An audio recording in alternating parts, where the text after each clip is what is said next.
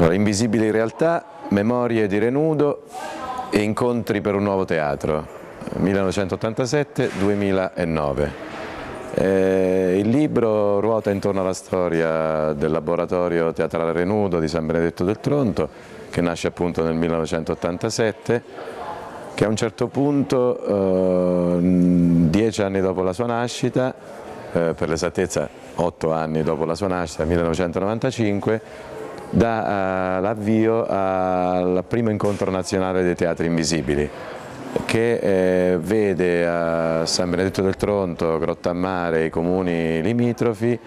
partecipare sin dalla prima edizione più di 40 gruppi del uh, nuovo teatro, gruppi che in quel momento rivendicavano una visibilità. Eh, il teatro ancora più da adesso era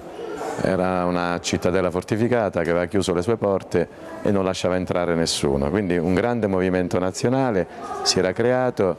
eh, aveva mh, stabilito di occupare teatralmente un territorio, Renudo si offrì affinché questo fatto avvenisse a San Benedetto del Tronto e da lì è nata un'esperienza importante, esaltante, che ha visto passare eh, in quei luoghi eh, quelli che adesso sono i gruppi principali del, del nuovo teatro. E, mm, il libro narra di queste due storie parallele che a un certo punto si intrecciano e diventano inscindibili. Nel libro è, us è, stato usato il metodo della ricerca storica nel senso che il mio lavoro è stato sulle fonti dirette cioè gli articoli di giornale e le pubblicazioni che avevano riguardato sia il laboratorio teatrale Rennudo di San Benedetto del Tronto sia l'esperienza dei teatri invisibili. Dunque è stato un lavoro di, di prima mano che ha utilizzato l'archivio che il laboratorio teatrale Rennudo di San Benedetto ha eh, costituito nel corso della sua storia, un archivio ricco di informazioni eh, di eh, scritti che testimoniano il sentire di un'epoca, un'epoca in cui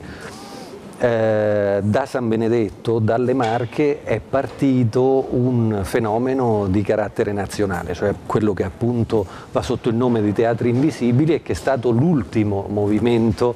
del teatro italiano. Eh, dopo il suo esaurirsi intorno al 2000-2001 tutto il resto sono state tendenze. Tra l'altro è una storia che riguarda molto da vicino anche eh, Scena Verticale, Castrovillari, Saverio La Ruina e Dario De Luca perché